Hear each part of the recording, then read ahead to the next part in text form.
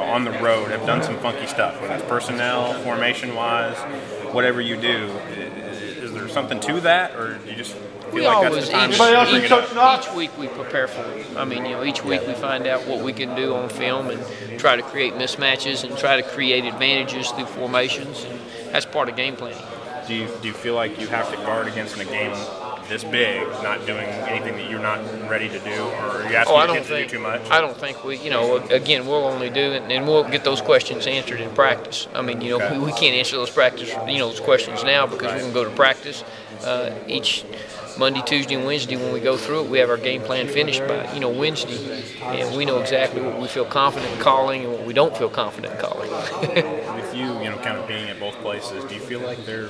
And it's a different time too. I asked Dan if there was a different recruiting philosophy at both schools, where it seems like it's states two and three star kids that have been developed versus Alabama's ready-made four and five star, you know, kids. obviously they've proven that in the recruiting wars. I mean, you know, we, we obviously have, have done well in state, and that's where the majority of our recruits are from in the, in the state of Mississippi, and that's the way we'll stay.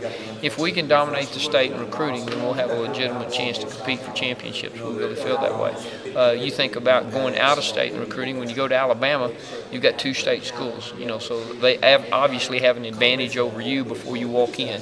Then you go to you go down to uh, Louisiana, and you know you're, you're the second school coming in there. So those are things you got to guard against. I mean, we always want to take care of home first, and then branch out for needs.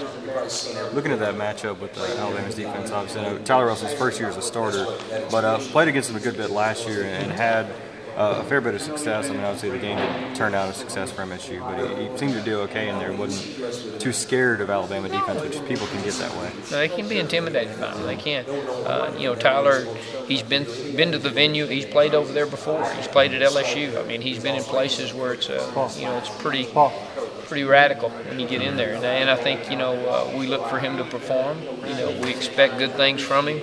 Uh, you know, we're going to go through practice and find out what we like and we don't like and what he likes and he doesn't like, and then we're going to have those plays and prepare him for the game. I know